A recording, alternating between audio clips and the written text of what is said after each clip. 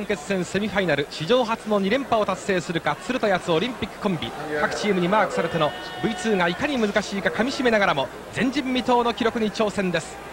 そしてブッチャー新史上最強悪コンビ。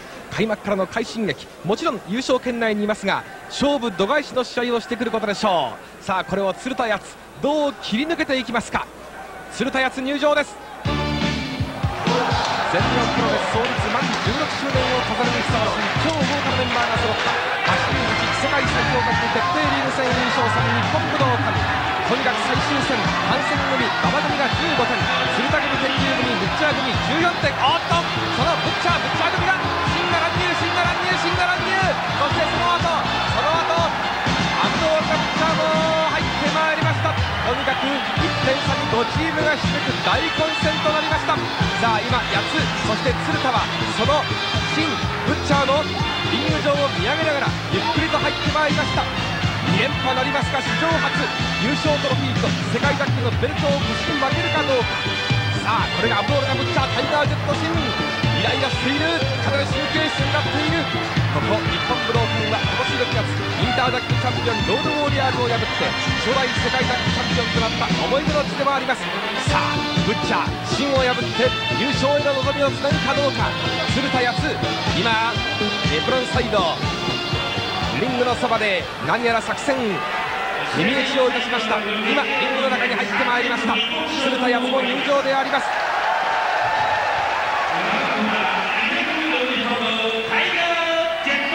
成功法で来るか。はたまた狂気攻撃かタイガージェットシューです。ブレフのベルトも取った実力者。さあ中田龍リングアナウンサーに一撃。タイガージェットシーンアブドールガブッチャーも鶴田康の方に虹寄りましたが鶴田康の方はすでに臨戦態勢に入っております。事なきを得ております。さあこれが八つであります。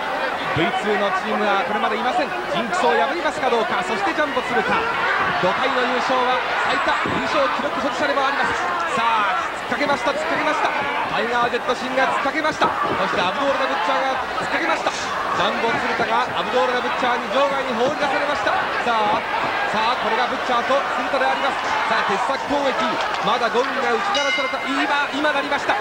30分の一本勝負。セミファイナル公式戦であります。とにかく5チーム全てに優勝のチャンスがあります。しかしこの鶴田康美が優勝のためには引き分け両者リングアウトではダメです。2点2点が欲しいんです。そして16点にしておかなければなりません。メインイベントを睨みながらの戦いということになります。馬場さんしかしこのブッチャー戦は常に両者リングアウトの危険がつきまといますよねそうですね、えー、リングアウト勝ちをするということを狙わなきゃいけないですね。ピンホールは馬場さん難しい。そうですね、ね、ということになりますね。さあその辺より一層のこのコンビネーションが必要だアブドールダ・ブッチャーショルダータックル。空手のポーズ。気合が入っています。序盤戦このかき回しながらもここへ来て成功法だアブドールダ・ブッチャー。さあ今度はフェイスロックかクロー攻撃かアブドールダ・ブッチャー八つを捉えました。馬場さんこの公式戦ブッチャー新組と当たりましてまあこの前回の札幌大会残念ながらこの本当に痛い両者リングアウトに終わったんですが戦ってみてブッチャー氏はどうでした？あの非常にあの、はい、2人アンバランスのようでねバランス取れてるんですよね。と言いますと小倉京です、えあのブッチャーはねじっとしてますでしょ？はい動くようですけど割り方動かないんですよね。じっとしてるんですね、なんか省エネスタイルというか、何もやらずにこちらこちら動き回ってるんです楽しいんですね、ほんでね2人ともレスリングやらないでしょ、はい、だからここのとこはよく似てるんですけどもね、このシーンが実に海外式ブッチャーを盛り立てています。あのレスリングをやる、と思ったっていうこうやってあの後ろに回って攻めてやろうと思ったっていう、はい、その彼らが乗ってこないんですよね。乗ってこないっていうよりもできないんですよ、えーなんかまあブッチャーなんかだとあれでしょうジャンボのやつなんかがあのなんか一つね大技を仕掛けてね、はい、頭を打その打たなきゃいけないですね。なるほど鶴田にはバックドロップがあります。それから八つにはジャーマンスープレックスホールがありますがそこまで持ってくるかどうか。ブッチャーにジャーマンスープレックスがかえって自分の自分でしちゃうんでしょうからね。ジャンボ選手はこの1回、えー、このブッチャーを投げたことがあると話していました。この足攻撃馬場さんこれはどうですか？巨体のブッチャーにいいですけどもこうやってやっぱり防がれてしまうでしょう。そうですね。地獄好きですぐ流れを止める。そして、えー、とヘッドバットアブドール・ダブッチャーのヘッドバックです。さあスタミナ温存スタミナ温存。速いタッチワークでジャンボ鶴田につないだ。ジャンボ鶴田アブドール・ダブッチャーに注文をつけた。さあアブドール・ダブッチャーもだんだんと光り輝く目で鶴田を見合っております。まあ正面から言っても難しいか。あのー、馬場さんはあのー、新ブッチャー組で対戦しました時に新に的を絞りましたよね。いや的を絞ったというよりも、ね、やっぱりやっぱりあの攻めるのはね攻めた方がですね効き目ありますからね。なるほど。この辺りアブドール・デブッチャー余裕のポーズであります。どこからでもかかってこいとばかりにニヤッと笑いました。ヘッドバット腰の辺り。そしてタイガー・ジェットシンにつないでいきます。あのー、馬場さんが特別試合でしたが見せましたこのアブドール・ダブッチャータイガー・ジェットシンに。あの特にブッチャーに見せました顔面へのチョップ、はい、ああいう何か一工夫も欲しいですね、うん、そうですね。ジャンピングやっぱシンでも一つ技を食うと外へ出ますよねぱまあ彼らはそのこういう選手にうまいと言っていいのか悪いのか分かりませんけどね。その技を仕掛けられないようにダメージを切ったらそうです、ね、受けたらその技を仕掛けられないように外へ出ていってしまう。ここここのところはね非常にその、ずるいというかねうまい、ね、逆に言いますと鶴田なんかの攻撃は単発になってしまうと連携ができなくなってしまうということになってしまいますね、まあ、馬場さんと木村選手の16問とラリアットの合体プレーの時にもあの時もロープ際そして場外線を連れ込んでしまったというねそういう流れでした実に巧妙です百戦錬磨のタイガージェットシーン無駄な動きがありますがさあそして今度は足を取りに行きました。タイガージェットシン。さあこれをお腕しに逆十字。馬場直伝だ鶴田腕しに逆十字で返していきました。ジャンボ鶴田であります。さて馬場さんこのジャンボ鶴田は自らこの優勝の十字架を課して背水の陣といいますかベルトを返上いたしました。これはどういうことなんですか、まあ、ベルト返上するったってね、はい、あの最強タッグですからね、世界に一番強いチームを決めるということですからね、やっぱ当然、その彼らはもう、このシリーズに最強の人はやっぱり巻かなきゃいけないベルトですからね。それを受けまして、まあ、世界最強タッグチームが世界タッグのベルトを巻くべきと、まあ、このロードプレイヤース会長に報告そしてこれが認められましてそして、えー、来年以降、えー、最強タッグレースの前にはこのチャンピオンがベルトを返上してそして、えー、このタッグマッチ決定リーグ戦に勝ったあチームが、えー、チャンピオンになるとタッグチャンピオンになるということになっています。まあ、そうしますとこの最高タッグのレースの他にこのベルトの行方という楽しみも加わってくるわけですね。そうですね。はい。さあワールドタッグベルトを巻くのはどちらか。ブッチャーチームかあるいはこの五輪コンビかはたまた天竜同盟か。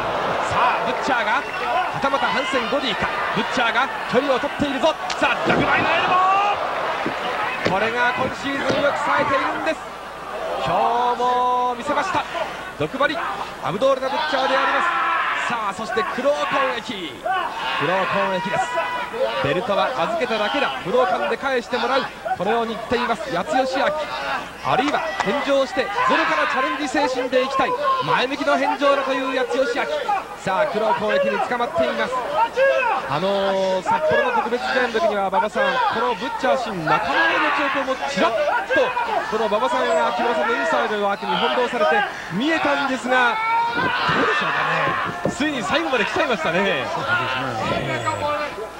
そうですねこのままどうやらこの最強タッグ決定リーグ戦レース、えー、結束の硬さを誇示しながらレースを戦い終わりそうであります。このブッチャー、えー、ですね我々にその今までと違ってあの優勝というか勝つためにその我々に研究してるんですよね、今までは試合をぶち壊してしまえばいいというような感じだったんですよね。ジャンピング2位です今日は途中から完全に成功法に切り替えています。アブドお持ち上げた。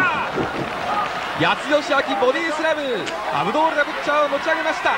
いやこのゴディには潰されるかもしれないよという馬場さんのお話もありましたがあ飛び道具デロッピックであります。もしかするとジャーマンあるいはこのジャンボツルトの気迫のバックドロップが出るかもしれません。さあチョップを打っていく。モンキーフリップモンキーフリップです、ね、やっぱりどんどん投げていけばね、えー、ブッチャーも弱ると思うんですね。自分が体重がありますからね。さあしかしあこれです。これで動きを止めてしまうんです。狂気かあるいは地獄好きで動きを止めます。野田本あの地獄好きを受けると馬場さんどんな感じですか？やっぱりね一発二発はね急所です。ね、はい。さあ連発されると怖いぞ。さあタイガー・デッドシンの今度はストッピン攻撃そしてタイガー・デッドシンも地獄好きを見せております。さあ対角線かやるオープンで振ったカムラクどうかトーキックであります。トーキックジャンボ通の動きが止まった。そしておっとおっと。これはジャンボのカボルバのようなコブラツイスト。コブラツイスト。タイガー・デッドシン中丸の様子はない。中丸の様子はない。さあジャンボ鶴田を捉えた。馬場さんあのー、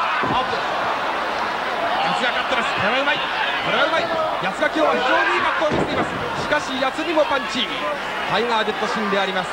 このシリーズを通して鶴田八つの動きというのは馬場さんは30分のドローをやっていますがどうご覧になりますか？いやさんも卒がないですよ。卒がない、えー、そうですか。ただね彼が、えー、僕らがやった時にはい、やっぱり何かためらいみたいなものがあったんじゃないかと思いますね。なるほどねさあこの試合ではどうでしょうか。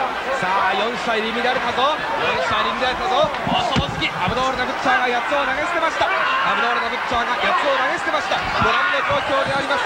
ご覧の状況であります。8つの野田元にクロー攻撃アブドールナブッチャー。さあ8つのスタミナが心配だ。ダメージが心配だ。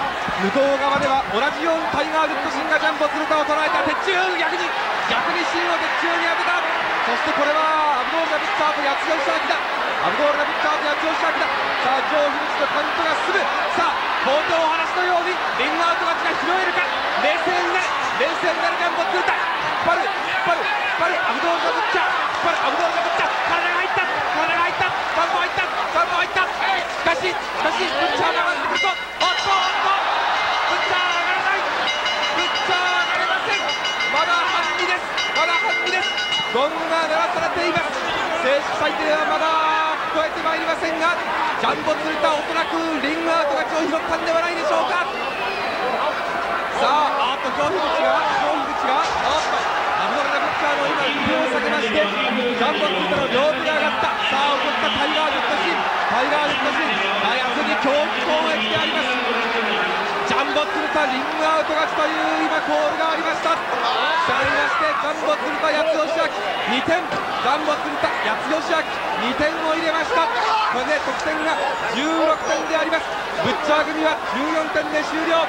ブッチャー組は14点で終了いたしました。従いまして、えー、ジャンボ鶴田八つ吉まだ優勝の可能性が十分にあります。さあこの後はいよいよ優勝の勝った大一番天竜対組対反戦組のメインイベントどうぞご期待いただきたいと思います。鶴田組にもまだ優勝の可能性が十分にあります。戦いの殿堂日本武道館いよいよ88世界最強タッグ決定リーグ戦闘技を飾るビッグカードリーグ戦最後のカード天竜組対反戦組が始まります。もちろん優勝のかかった対戦です。両軍団の試合前の表情をまずご覧いただきました。さあ天竜源一郎川田俊明チームの入場だ。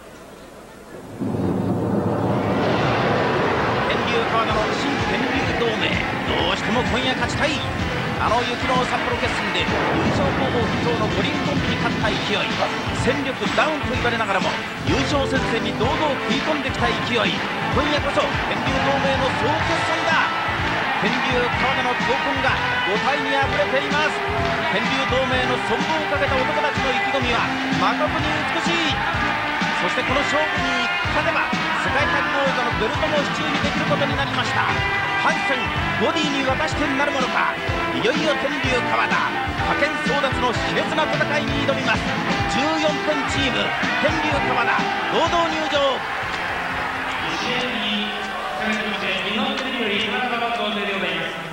スタン・ハンセンテリー・ゴディの入場の前に試合前の豪華なセレモニー。イベントコンパニオンによりまして天竜川田組に豪華な花束が贈られました。さあハンセンテリー・ゴディだ反戦の雄たけびがシュラス戦場の開幕を告げています。いよいよこの88年世界で一番強いタッグチームを決定する戦いの始まりであります。反戦後にアメリカ代表。何かこの2人を見ておりますと確実に相手を倒すことにのみ凝縮されたメカニズムを感じます。一切の戸惑いもなく生命を出す破壊力。銃のように脳かけ血を吐い獲物を探します。まさしく戦闘軍団だ。鍛え抜かれた肉体ならではの技ターミネーターかコマンドーかそれともはたまたゴリラか反戦5時優勝を確信しての登場15点反戦5時30分一本勝負を行います裏をコナー295ポンドテリー・ゴディ今伸びに乗りに乗っています。ゴディ最高のコンディションテリー・ゴディ。年の全日本枠は俺が締めくくるスター・ハンセン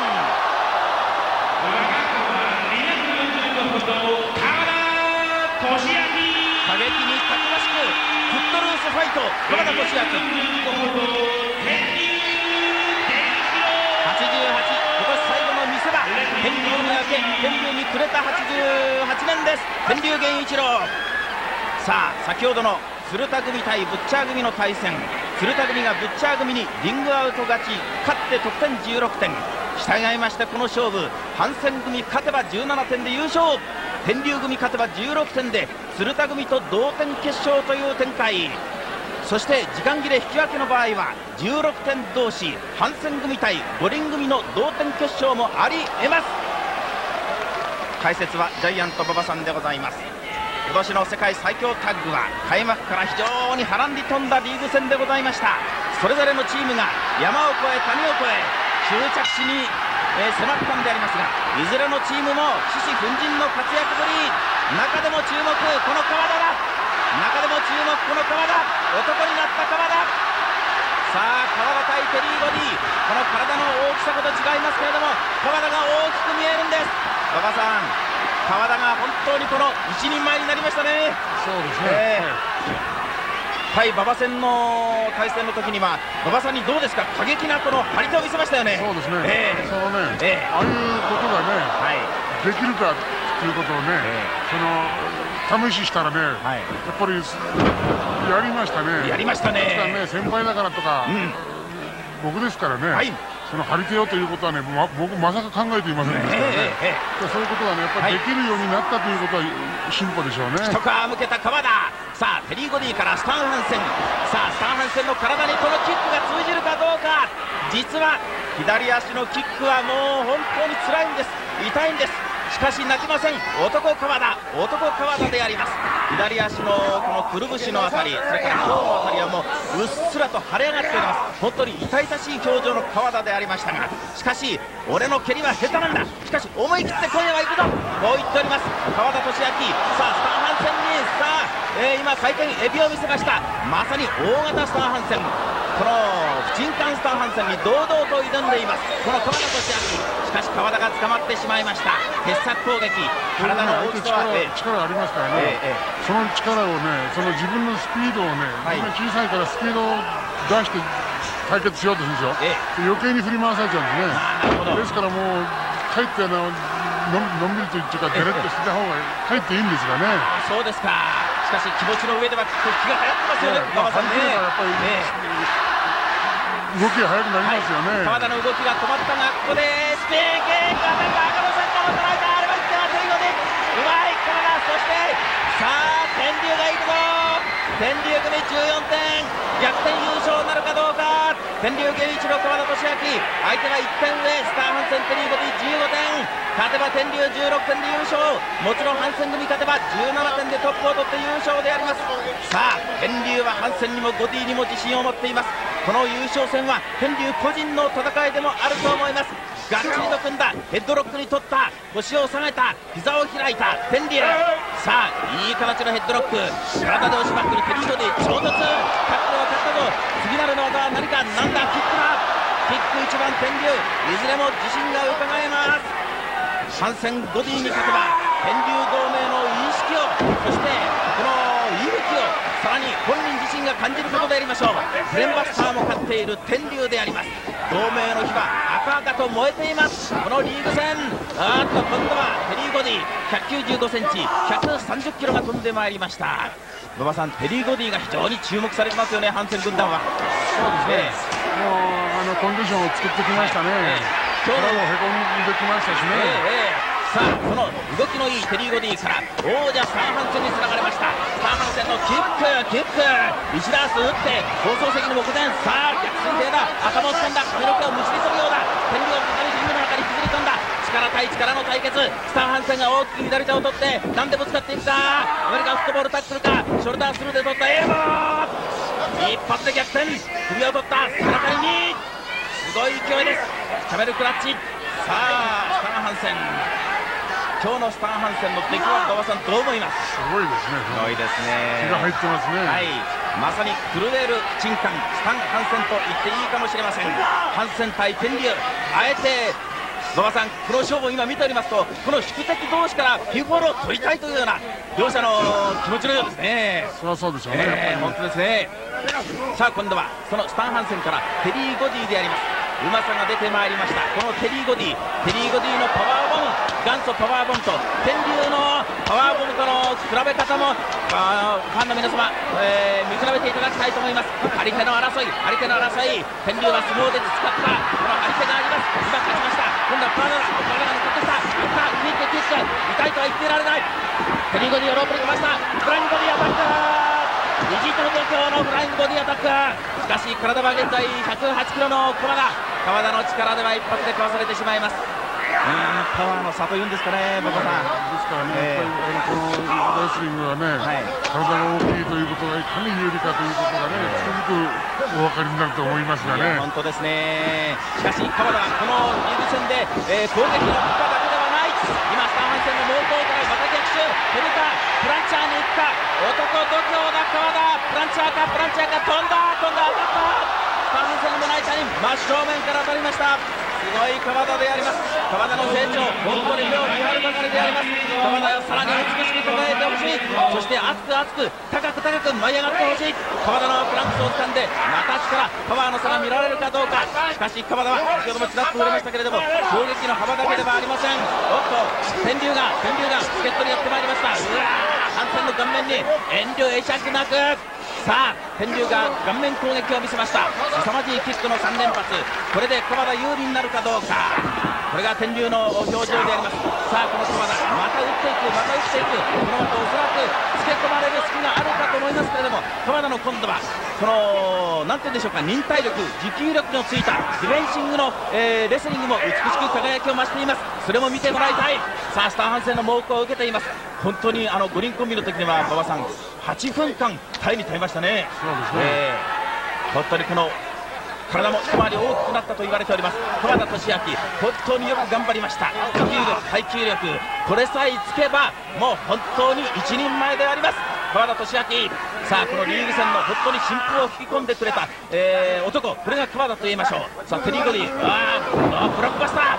強烈なブロックバスター。体重があります。135キロ全体重を乗せました。そのまま覆いかびされます。テリー・ゴディの表情はもうまさに自信満々。いつでもいつでも川田を取ってやる。こういう自信の表情でありますが心配そうなこの男天竜。天竜がちょっと心配そうに耳、えー、川田の動きを、えー、見ておりました。さあ川田生き返るか。なんだなんだダイエット。川田ダイエットの第1弾。いいところで天竜につなぐ。さあダリアットの変態行が見られるかどうか。合体殺法も非常にうまくなってまいりました。天竜川田さあ相手をテリゴディを押し勝ってああサンドイッチの、えー、キックだ。キック構想しました。特に天竜の円髄切りが当たっている。顔面攻撃は川田だ。2のダブル攻撃今どうでした？素晴らしいですよ、えー、まあ、もうちょっと真ん中でやればね、はい、そうですね。川田のね動きがその非常に小さいながらもまともに当たっていくでしょう、はい、それが素晴らしいですね。今度は天竜が助走をつけての左のラリアット相手の顔面をかち割るようなそういう勢いが感じられます。さあネックブリーカードロップだ。天竜勢いが増してまいりました。天竜であります。どうしてもこの、えー、優勝候補の筆頭のハンセンゴディを破って16点でトップに立って優勝をもぎ取りたい。優勝すれば優勝すれば逆境に強い男の天竜の証明になります。今夜も大きな何かファンを圧倒するような何かを見せつつあります。その天竜であります。さあいい表情をしている天竜。濃い眉射抜くような鋭い目。この鋭い目はハンセンよりもボディよりもこの重厚な光を放っています。その天竜の、えー、光り輝く目であります。首4の字に取りました。寝技での展開であります。ここまでの流れをご覧になりまして馬場さんどうしても勝ちたい天竜川田組ですけれども勝つための最大の手段は何だと思いですか？そうですね、やっぱり1人を外に置いて1人攻めですね。まあやっぱり理想を言えばハンセンを外に出してですね、うん、で、えー、ゴディを2人でね、ラリアとラリアともう何発でもいいと思うんですね。なるほど。今度はハンセンが天竜の厚い胸板にチョップを6発にまいました。やはりハンセンゴディが狙っているのは川田でしょうね馬場さんね。まあそうでしょうね、はい、ペリゴディが助走をつけたのトすごい。勢いがね、えーもうこれ3階にお客さんにまで聞こえるでしょういやこの音がね。こういう音がねやっぱり川田にも出るようになりましたしね、その一発目が作ってもね、彼は倒れませんからね。音の出る川田ラリアット。そうですか。馬場さん名解説。さあ今度はスターハンセンにじり寄った。天竜の左のラリアット。顔面をえぐったぞ。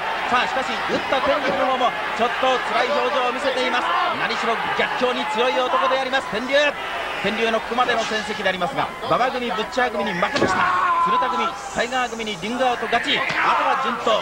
天竜勝てば、えー、リーグ戦3度目の優勝。同盟結成以来初優勝ということになります。一方の今有利な反戦組でありますがブッチャー組と0点試合。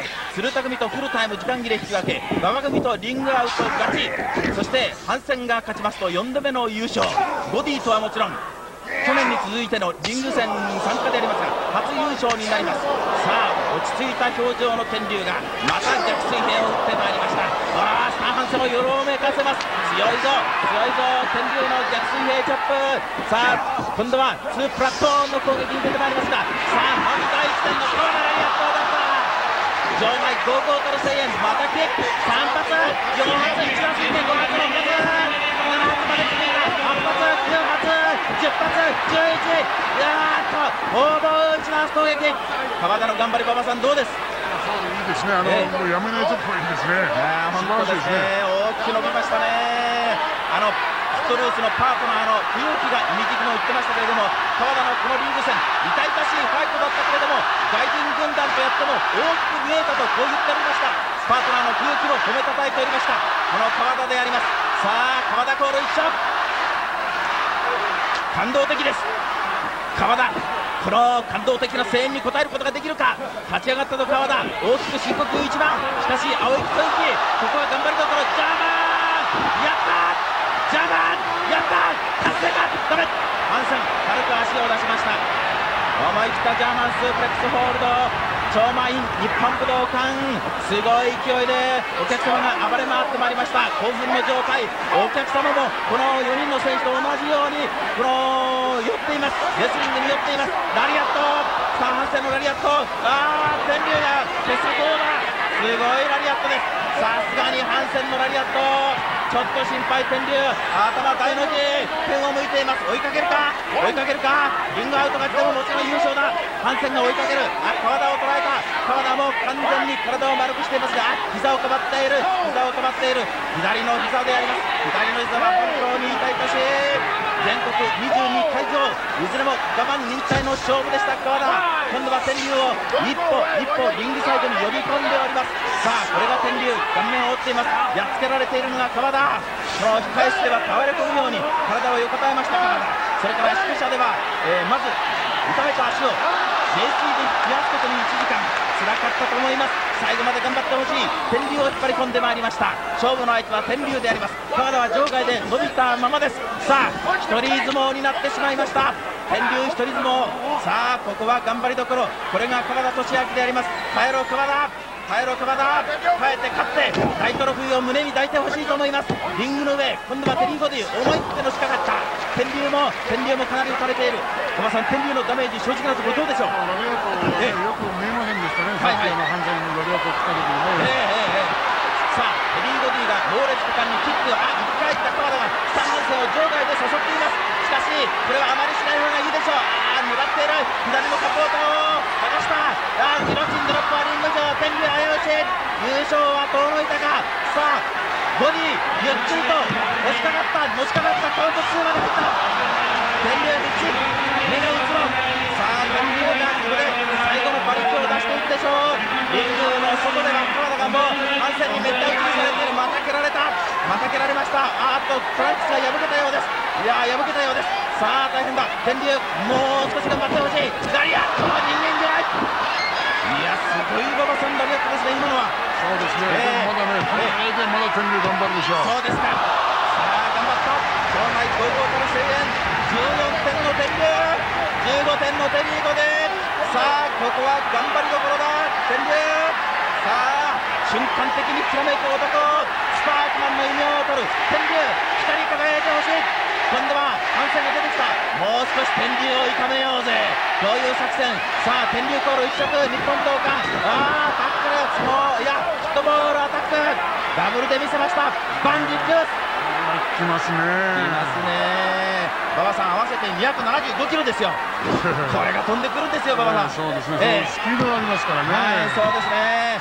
さあここでアウト2で天竜がまた跳ね返していきました何かを見せてくれるはずだ天竜最後の最後今年最後の勝負だ勝って優勝、えー、勝ち取りたい天竜エンジンだろうわあおっと水平チョップチョップチョップ手先にチョップペリゴに後ろから行く羽交い締めああおっとこれうまく離れたうまく離れたさあおっと今度はエルボー落としたスタンハンセンエルボー落としました猛烈果敢に攻め込んでくるまさにこのスタンハンセンの攻めすごいスピードがあります2位落とした期待がバレそうだそう今度は外高田が捕まっている。さあ天竜捕まった。下半戦カバーだカウント2場外では川田がやられている。ペリーゴティにも猛打を振っている。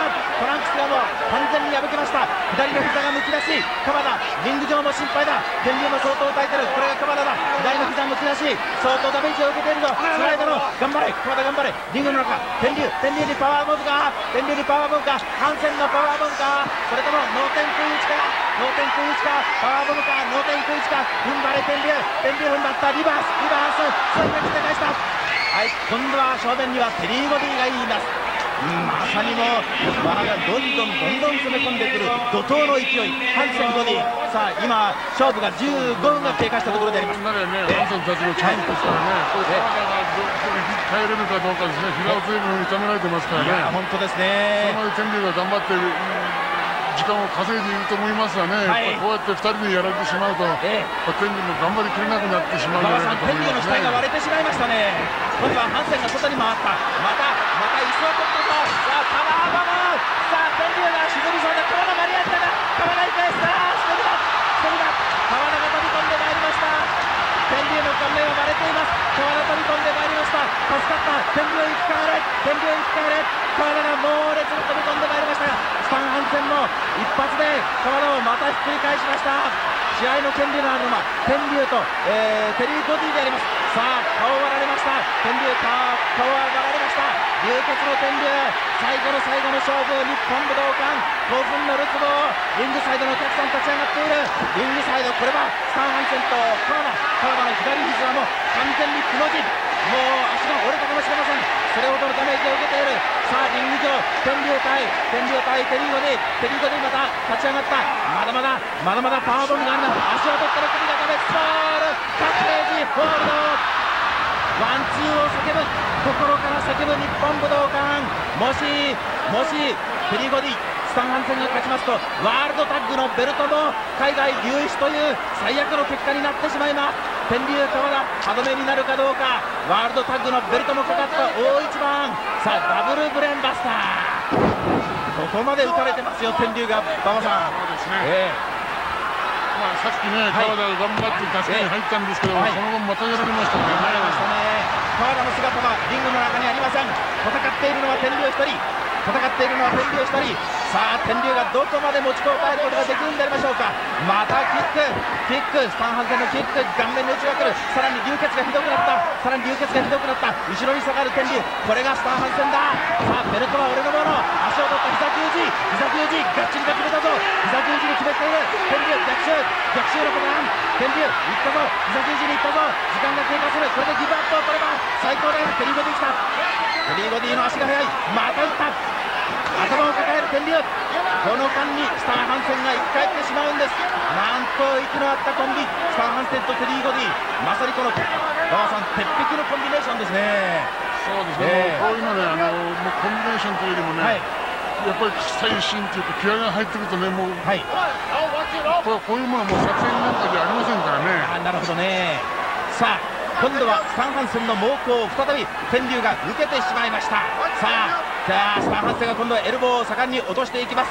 この特にハンセンの方は天竜をもう目の敵にしておりまして天竜とはもう俺と俺と個人の戦い死闘だと公言しています姿よりも現在は天竜に抱く執着心はものすごいものがありますそのスタンハンセンあリング下で川田がまた1回ってまいりました川田1回ったエプロンあフェンスにぶつけられる左膝が痛々しいあ左膝をねじります頭から落っこした川田バンティックこれで完全に動きを止められてしまいましたリングの中では天竜とハンセンさあ男対男の対決いったぞ張り手じゃあ逆水もう1回倒したすごい天竜のチョップまだ気合が入っています。表には人間ラリアット人間魚雷ラリアットテリードで凄まじい勝負ですねボバさん、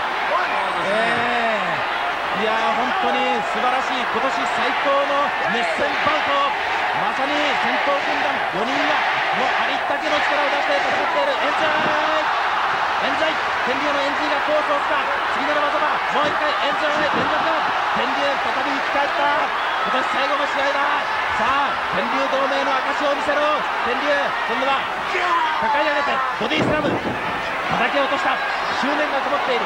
天竜トップロープに上がった。逆エルボー空中エルボー当たった。これも当たった。抑え込んだ。天竜逆転優勝かリーボディが正面に待っているんです。またちょっと一戦。さあ髪の毛を掴んだまた流血をぶたわし川田まだリングの中に入れません。もうもう試合の半分以上が天竜1人で戦っているんです。ローンバトルになりました。さあ相手は初回ハンセンボディハンセンボディ今度はキックで一発返した。さあ間を取った。エンジン一発はエンジンを倒れをする天竜まだまだ力があるぞ。これぞ天竜だ。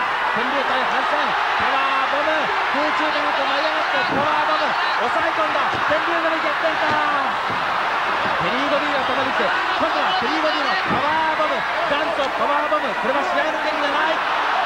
なんとか続きます試合の権利があるのはハンセンハンセンと天竜の球場川田がずっとアウトサイドリング中に入ることさえできません川田がこの試合から完全に死んだようだ川田川田なんとか助けてもらいたい天竜天竜さあ足に食らいついても勝ちたい天竜今度はしかしハンセンのまたチョップ逆水平のチョップが飛ぶ天竜を乗ったいやウエスタンラリアット。最後のとどめはウエスタンラリアットそのまま抑え込んだ天竜抑え込まれた天竜ピーコールを取られた。天竜がピーコールを取られました。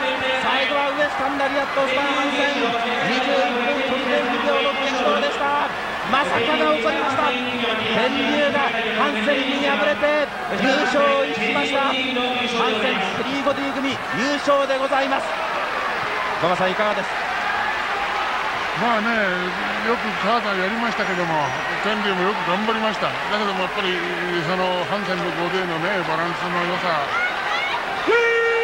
っぱり勝利しましたね。はい、天竜が取られました、この点については馬場さん。いやこれこの2人にねこれだけ攻められればねこれはもうしょうがないですよ、でも天理はよくねその巻き返したりしてましたからね、ですから川田がやっぱりこの体力負けをしないようにね来年は頑張ってもらいたいですね。はい。悔しい天竜。川田はもうすでにリングサイドで泣いているようです。全くリングの中に入ることができません。川田。天竜ピンコード。3半戦に取られました。優勝は優勝はスターハンセンテリーゴでまさに恐怖戦慄のしかし馬場さん戦い模様でしたね。そうですね、えー、まああの最後は天竜は一人で頑張りましたけども、はい、川田もよく頑張りましたよね。いや本当ですね。本当ですね。このチームは素晴らしい成績を残しましたしね、今の試合なんかやっぱり素晴らしい力力を持ってますよね、本当ですね、えー、正直言いまして、今年の、まあ、最大の素晴らしいビッグイベント、最大の、えー、ビッグゲームだったんではないかと思います、勝負タイムはもう1回、21分飛んで2秒、スタン・ハンセン、テリー・ゴディチームが優勝いたしました。